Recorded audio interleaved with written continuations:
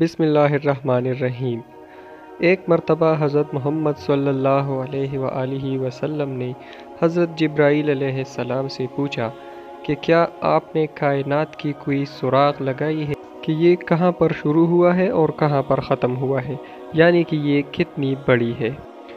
तो हज़रत जब्राईल सलाम ने एक वाइट बोर्ड जितना बड़ा शीशा उनके सामने लाया और फरमाया कि आपको इस शीशे पर क्या नज़र आ रहा है। तो हमारे नबी ने फरमाया कि इस पर मुझे एक छोटा सा नुक्ता नज़र आ रहा है। तो इस पर जब्राईल सलाम ने फरमाया कि इसी नुक्ते के बारे में मैं आपको बताता हूँ। लेकिन इससे पहले मैं आप लोगों को हज़रत जब्राईल की स्पीड का बता देता हूँ कि वो एक सेकंड से भी पहले पहले ज़मीन से लेकर सातों आसमानों को भी पार कर देता है। सलाम ने फरमाया कि मैं इस नुक्ते के दरमियान में खड़ा हो गया और मैंने सोचा कि मैं इस कायनात का कोई शुरू या एंड जो है ये फाइंड करना चाहता हूँ।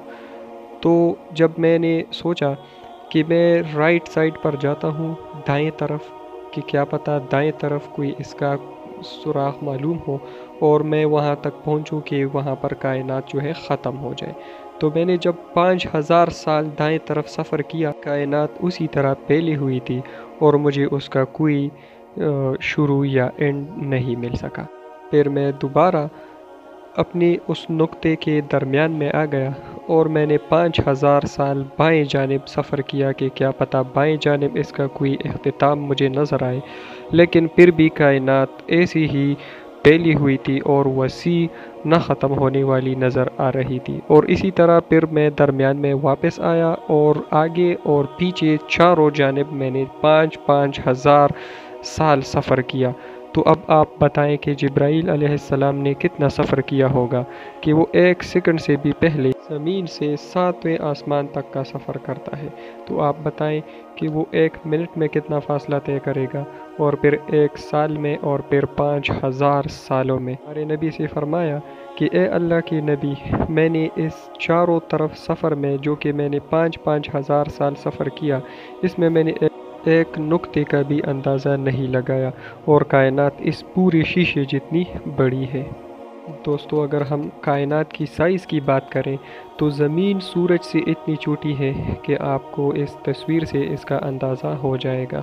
और इस सूरज से जो बड़े बड़े स्टार्स हैं, वो फिर, उनसे फिर ये सूरज इतना ही छोटा है जितना ये ज़मीन इस सूरज से छोटा है।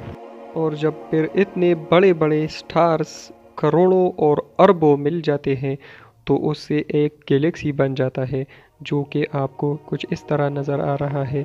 और फिर इस जैसे करोड़ों और अरबों गैलेक्सीज आपस में मिल जाए, उसे ऑब्ज़र्वेबल यूनिवर्स कहा जाता है, जो कि साइंसदानों ने अभी तक इतना ही मालूम किया हुआ है। इसमें जो एक एक स्टार आपको नज़र आ रहा है, ये एक स्टार नहीं, बल्कि एक एक गैलेक्सी है, और इसमें अरबों और खरबों की तदाद में बड़े बड़े स्टार्स हैं, जो सूरज से इतनी बड़ी है, जिसका अंदाज़ा आपको इस तस्वीर से हो जाए। इसमें एक जॉइंट स्टार के सामने सन जो है, ये स्टार का थोड़ा सा कुछ हिस्सा है, और इसके सामने सन वन पिक्सल है, जो हमारा सूरज है।